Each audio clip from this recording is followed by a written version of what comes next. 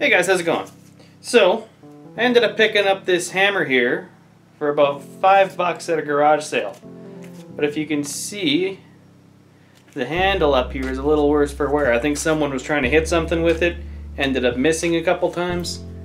So, just because I've never done it, I want to try making a new handle for it. So, that's what I'm gonna do. Check it out. I start by taking the hammer over to the bandsaw and cutting the handle off of the head. This left a chunk of handle in the eye of the hammerhead, so I head over to the drill press to drill out some of the mass of the wood to loosen it, so I can knock out the rest with a punch, which happens to be just an old nail. And then since the hammerhead was in really good condition otherwise, I really didn't need to do much in terms of cleanup. All I did was attack it with a wire wheel in my drill press at its highest speed.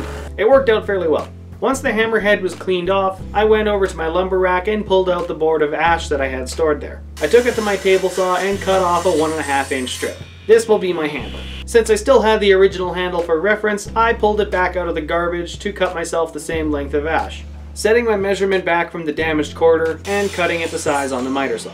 Since clearly the hammerhead isn't going to fit on the new handle as is, I hold the hammerhead up to the end of the handle and mark out the size of the eye. Then I clamp it down into my portable workbench. Ah, man, I need to get myself a proper vise. I clamp it down into my workbench, and this isn't the right tool for the job, I know that. I don't have a spoke shave though, or a sharp knife, so this is what I'm gonna use. Using my small 3 inch trim plane, I start planing the handle down to size. It took me a while to adjust the cut depth to the sweet spot where it would still make a decent sized cut, but not take enough off that it would jam up on me. Eventually I got there. Once I started getting closer with the size of the eye on the handle, I took the hammerhead and jammed it onto the handle. Wherever the head left marks on the handle, I planed it down further. Eventually I remembered that I had a set of files, so I used that as well to finesse the fit at the base of the hammerhead, since the top of the handle was clearly fitting through the eye as is. Now that the hammerhead is fitting onto the handle, I turn my attention to the hand grip portion of the handle. I begin to shave it off with a trim plane again, though I realize that I wouldn't be able to do inside curves with this. So I took the handle over to the bandsaw and just eyeballed the curve out on both sides of the handle. Then I brought it back to the portable workbench and filed down the hand grip.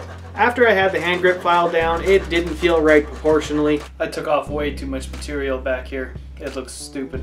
I took it over to the miter saw and zipped off the two inches at the end of the handle, followed by a quick filing to chamfer off the corners at the bottom of the handle.